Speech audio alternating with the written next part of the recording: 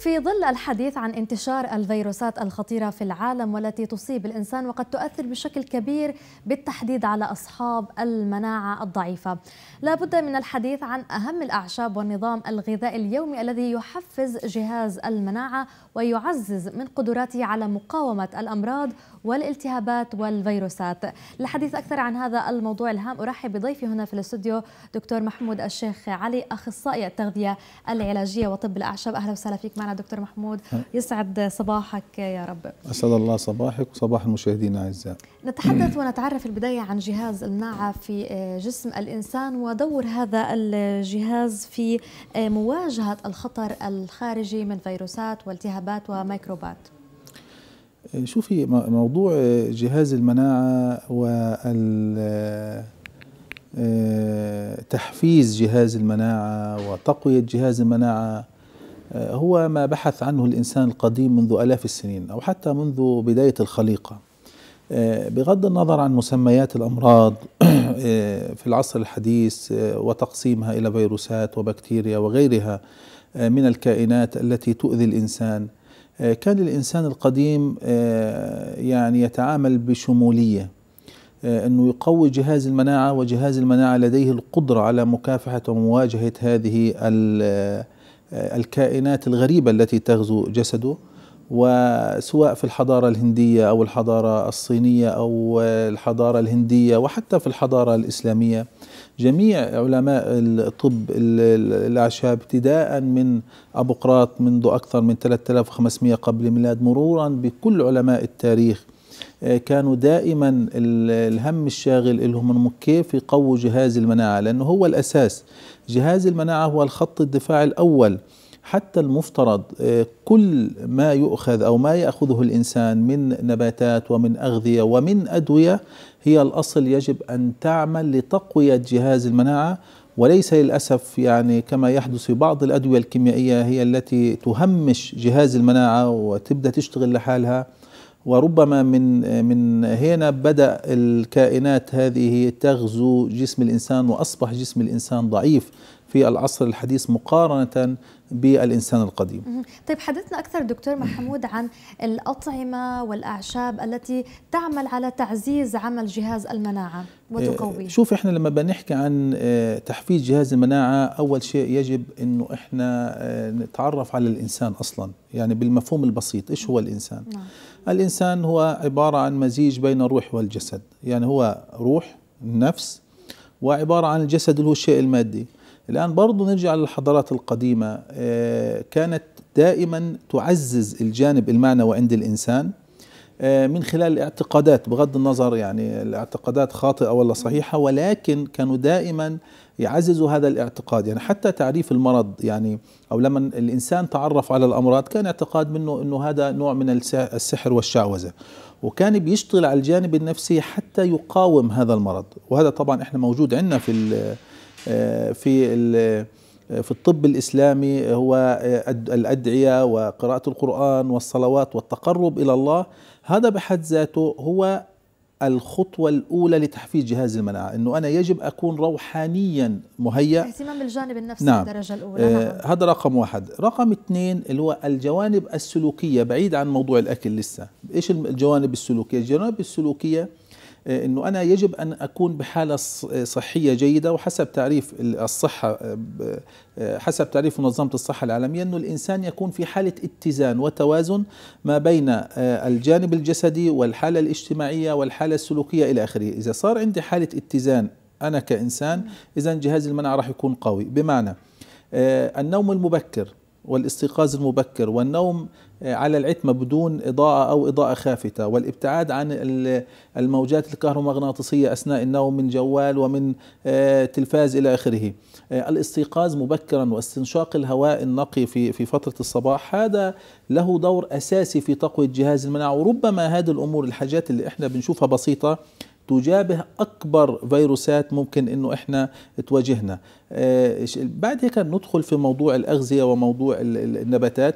ولازم نعرف إنه كل الكون هذا هو أصلا مسخر لخدمة الإنسان. حتى الكائنات هذه اللي التي أصبحت عدو لنا هي مسخرة لخدمة الإنسان وربما لها استخدامات لكن إحنا ما بنعرفها. نعم.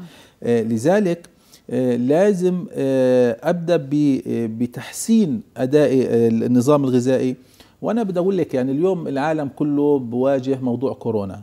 وكل يوم بنسمع قصة وبنشوف فيديو على اليوتيوب وعيشونا حالة هوس يعني. هل الفيروس هو فيروس طبيعي؟ يعني صار عنده مناعة واكتسب مناعة وصار عنده طفرة. هل هو آه، فيروس مصنع؟ يعني هل إنه إحنا نروح باتجاه مثلا. يعني هل هل نروح إحنا باتجاه المؤامرة؟ آه، هل نروح باتجاه إنه هذا الفيروس عشان يقلل من سكان العالم زي ما يعني ف فالقضية يعني أثروها بشكل كبير جدا. بالرغم أنا أعتقد يعني إنه الموضوع ربما يكون أبسط من كل ال- ال- اللي إحنا بنسمعه يعني. آه، لأنه بنشوف إنه في ناس بتشفى من هذا الفيروس. صحيح طالما صار وعدد الحالات مقارنة بمن أصيبوا شوفي ط- طالما طالما الناس بدأت تشفى أو في حالات شفاء اذا بدنا نتجنب موضوع إنه هذا إيه إنه هذه مؤامرة. فكرة المؤامرة بنحاول نبعد عنها شوية. وطالما في صار في حالة شفاء إذا نرجع للموضوع اللي تفضلت فيه هو موضوع جهاز المناعة. إنه إحنا نشتغل على جهاز مناعة قوي والمفترض. على فكرة لو أنا بعتقد إحنا في فلسطين لو قبل 20 سنة يمكن اليوم إحنا للأسف انجرينا وراء العالم بال- بالنظام الغذائي السيء. قبل 20 سنة لا أعتقد أنه كورونا ممكن يدخل يدخل الحدود أصلا. أنا ليش؟ لأنه إحنا طبيعة غذائنا آه، أكل صحي بالدرجة الأولى. وطبيعة فلسطين أصلا آه، جغرافية فلسطين هي تحتوي على معظم النباتات آه، آه، الطبيعية والتي ذات الخصائص العلاجية التي تعالج كل الأمراض. فلسطين تحتوي على نباتات تعالج كل الأمراض ال ال التي تعرف عليها الإنسان واللي لسه بده يتعرف عليها. ليش؟ لأنه الحمد لله إحنا آه، في عندنا جبال في عندنا مناطق آه، فيها حرارة في فبتلاقي النباتات يعني بتطلع وفي نباتات موجودة عندنا في فلسطين مش موجودة في العالم كله. لكن اكتسبنا طريقة التغذية ال- ال- السيئة للأسف. من الخارج. مع التأكيد دكتور على أنه معظم حالات الوفاة من الفيروس الحديث كورونا هم الأشخاص الذين لديهم مناعة أو جهاز مناعة آه، بشكل يعمل بشكل ضعيف. هذا إن دل فإنما يدل على أهمية تعزيز عمل جهاز المناعة. بالفعل. إنه معظم الناس اللي اللي بتأثروا وربما في ناس أصيبوا وما همش علم. وربما تخلصوا من هذا الفيروس وهم مش حاسين. ليش؟ لأنه عندهم جهاز مناعة قوي. عشان يكون جهاز مناعة قوي زي ما قلنا الجانب الروحاني السلوكيات اليومية طبعا بجانب اللي هو النظافة الشخصية آه، زائد الأهم اللي هو موضوع الغذاء. الله سبحانه وتعالى بيقول فلينظر الإنسان إلى طعامه. تمام؟ الآن ال- ال- المطبخ المطبخ مليء. المطبخ هو عبارة عن مصنع وليس مستودع للأدوية. ابتداء من التومة. وأنا يعني كان في فيديو على اليوتيوب كنت حكيت عن آه، علاج أي فيروس بالثوم. والآن عالم روسي حديثا تحدث في هذا الموضوع إنه آه، الثوم وجميعنا أصلا إحنا أخذناه من العلم من الطب القديم. الثوم كفيل بقتل 100% من البكتيريا. ويقتل ولديه القدرة على التخلص من من معظم الفيروسات الضارة. كمادة خام بدون إضافته إلى شيء شيء آخر. يعني في وصفة بسيطة جدا لكل المشاهدين الأعزاء اللي بيشوفونا. نعم. أي شخص عنده ضعف في جهاز المناعة أو حاب يقوي جهاز المناعة يجيب درسين أو- وهنا في موضوع مهم معلومة مهمة جدا. أبو قراط كان بيقول فليكن غذاؤك دواؤك وعالجوا كل مريض بنبات أرضه فهو أجلب لشفائه. بمعنى أنا موجود في غزة الأصل أجيب تومة غزة. يعني أجيب التومة المزروعة في غزة ما أجيب التومة اللي جاية من الصين ولا من الهند ولا ليش؟ لأنه هذه التومة اللي طلعت في تربة غزة أنا وياها عايشين في نفس البيئة. هي قدرت أن تقاوم الظروف المناخية المحيطة فيها لأنه كمان النباتات تهاجم بنوع من البكتيريا والفيروسات والفطريات إلى آخره. طالما هي قدرت أن تقاوم البيئة اللي أنا وياها عايشين في في في نفس البيئة اذا راح تديني تكسبني هذه المناعة. فأنا بدور على التومة البلدية باخذ ثلاث دروس تومة بقطعهم بحط عليهم معلقة عسل بحركها وبسيبها تتخمر لثاني يوم وثاني يوم باكلها وبعمل لمدة 15 يوم. صباحا أم؟ أو في أي وقت أي مش وقت. مشكله آه لمدة 15 يوم آه خلال 15 يوم جهاز المناعة سيكون في أوج آه ارتفاعه ولديه القدرة على تخلص كثير من الأمراض حتى ناهيك عن ال ال ال الفيروسات والبكتيريا حتى في الكوليسترول والدهون إلى آخره. أيضا عندنا إحنا من الحاجات الطبيعية الموجودة في فلسطين ورق الزيتون. ما أظن في ما أظنش فيش شارع فيش فيه ورق زيتون. وواحد ومرق ورق زيتون موجود بالشوارع عندنا. ياخذ له شوية ورق زيتون يقطعهم أو يخلطهم زي الملوخيه ويغلي المية ويحطهم. ويشرب منقوع ورق الزيتون ثلاث مرات يوميا. ورق الزيتون من أفضل النباتات المضادة للفيروسات. آه، والزيتون معروف إنه له إيه؟ آه، على مدار العام الورق موجود يعني على الشجرة.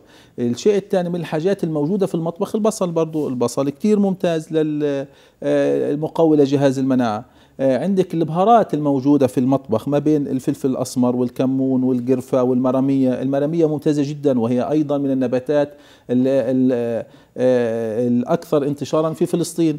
يعني بما أنه حضرتك تحدثت عن المرامية هناك إشاعات يعني عن غلي المرامية أنه هي تسمم جسم الإنسان. ما مدى صحة هذه الشائعات؟ هو موضوع تسمم هو المرامية بتحتوي على عنصر اسمه الثوجون. هذا العنصر يعني إذا آه، تم استخدامه بجرعات عالية ممكن يعني له آثار جانبية ولكن إحنا آه، بنقول دائما الأوراق الأوراق تغلى الماء وتوضع الأوراق وإحنا عادة المرمية بنشربها مع الشاي يعني بشكل يومي يعني. صحيح.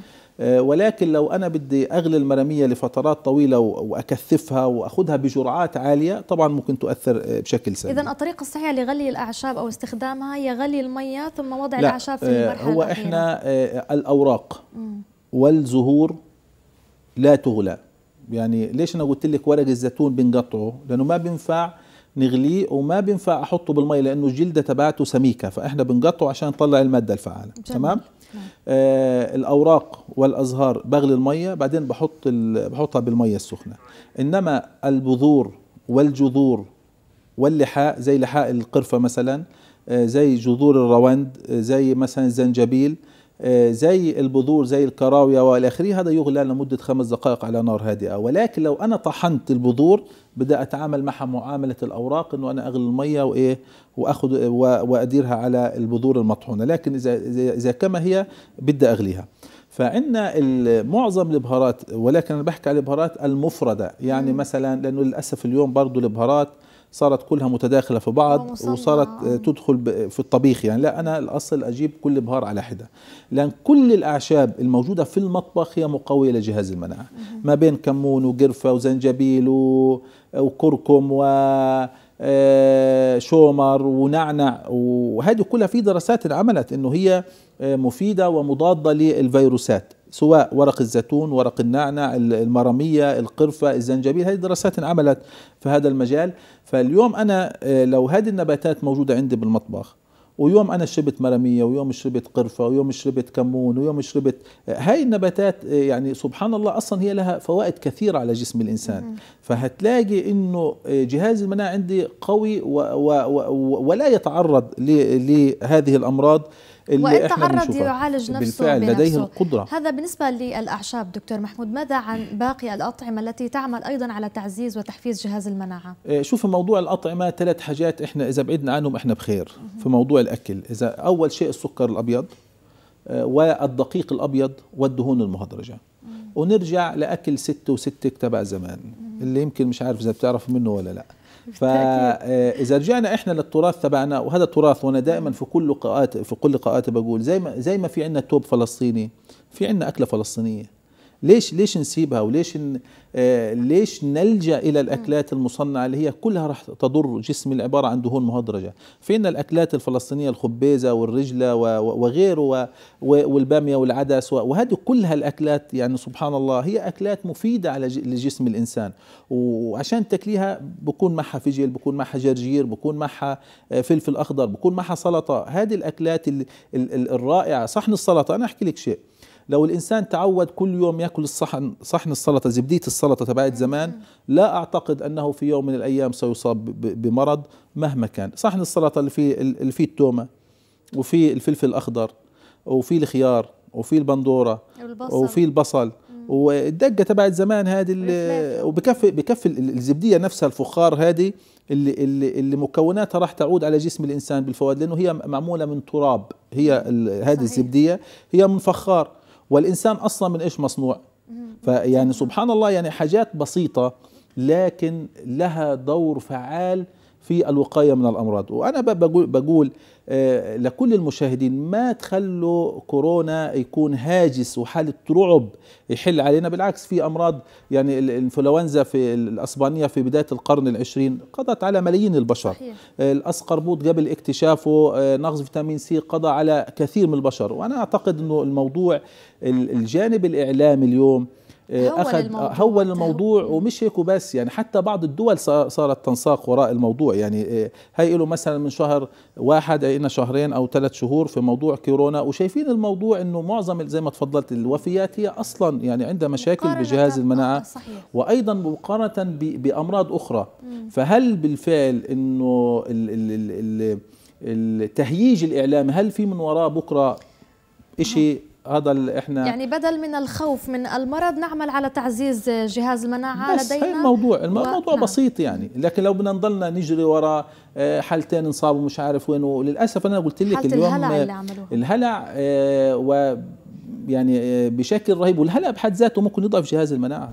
يعني أنا مش لازم أعمل حالة تخويف للناس وحالة رعب لا أوكي هو مرض آه، فيروس بينتشر آه، في له مضاعفات في في إلى آخره. لكن خلينا نركز على الناس هدول اللي عندهم جهاز مناعة ضعيف ونبدأ نديهم نصائح نقوي جهاز المناعة. وبنفس الوقت ناخذ الاحتياطات اللازمة. دون إنه إحنا نعمل حالة تهويل حالة بالتاكيد الحاله النفسيه تؤثر أيضا طبعًا على جهاز طبعًا. المناعة. نشكرك على كل هذه النصائح التي شكرا. قدمتها للمشاهدين دكتور محمود الشيخ علي أخصائي التغذية العلاجية وطب الأعشاب. شكرا جزيلا لك.